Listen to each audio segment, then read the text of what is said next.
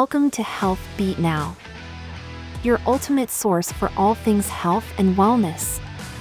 We are thrilled to have you join us on this incredible journey towards a healthier, happier life.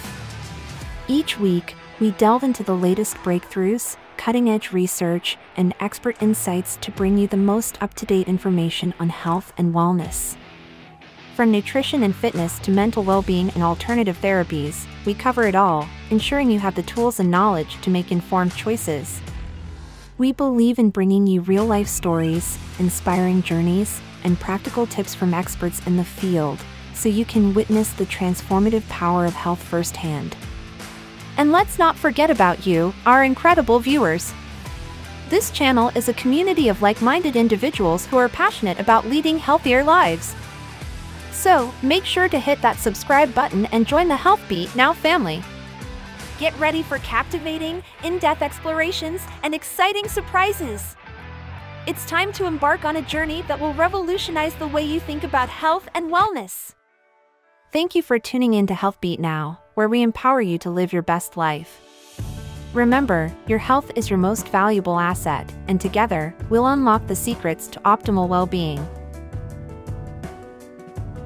West Nile virus cases detected nationwide signals summer risks.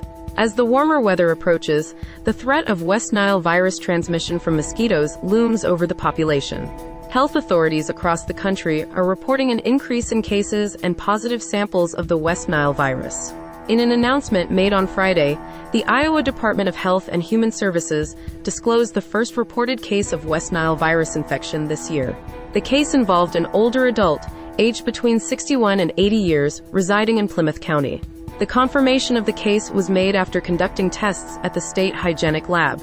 The department highlighted that the risk of mosquito bites increases during the summer season when people spend more time outdoors, as these bites serve as the primary method of transmitting the virus to humans.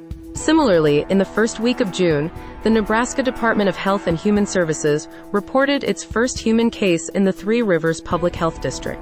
Fortunately, the infected individual did not require hospitalization.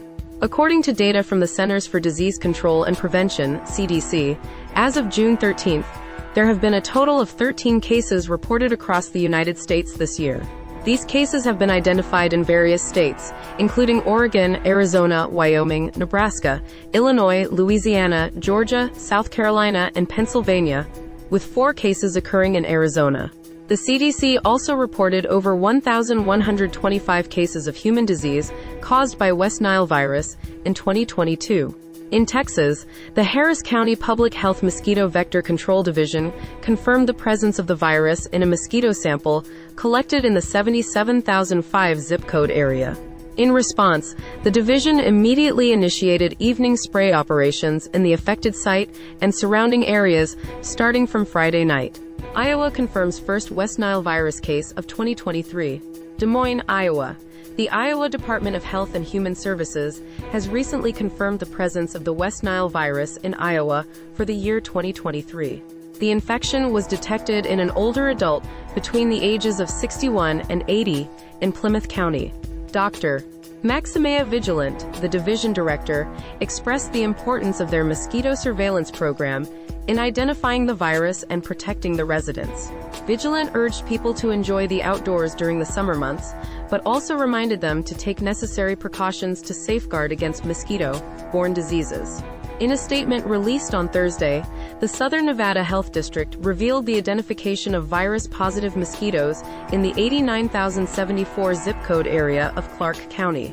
The Southern Nevada Public Health Laboratory conducted the analysis, having tested over 7,000 mosquitoes this year.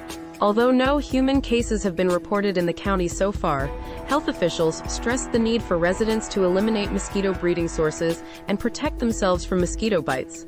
Considering the active presence of West Nile virus in southern Nevada, West Nile virus cases typically occur during the mosquito season, which spans from summer to fall. The South Nevada Public Health Laboratory and Health District staff have conducted extensive testing examining more than 7,000 mosquitoes this year.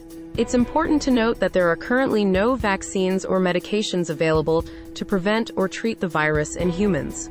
However, according to the CDC, most people infected with West Nile virus do not experience any symptoms. About 1 in 5 infected individuals may develop a fever and other mild symptoms, while approximately 1 in 150 may experience a severe and potentially fatal illness. In 2022, Iowa reported 9 cases of West Nile virus with no fatalities recorded. To prevent the virus, it is crucial to minimize exposure to mosquito bites as they remain the primary mode of transmission.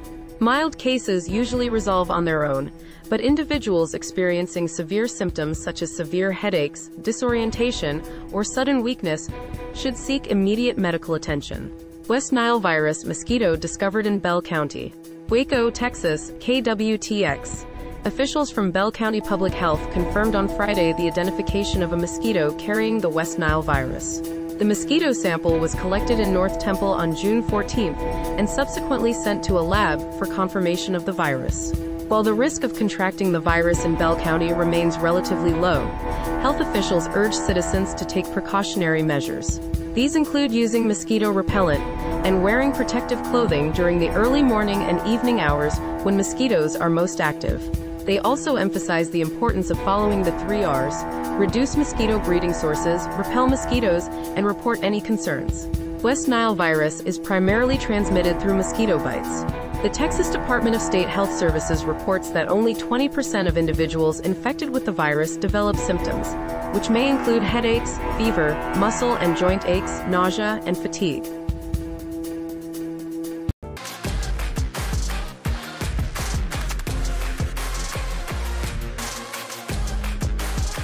Stay tuned for our next episode, because at Health Beat Now, the pursuit of well being never stops.